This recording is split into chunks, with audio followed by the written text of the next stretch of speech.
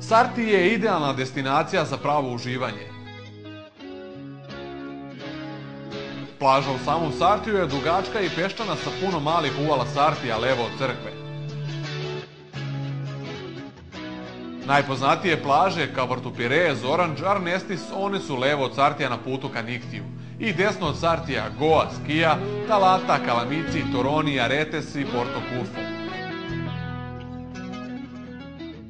Blizina šumovitih brda i izolovanih uvala kao i saluna i čuvenih manastira pružaju mogućnosti za brojne izlete, biciklima, magarcima, autobusima, brodovima i ribarskim čamcima.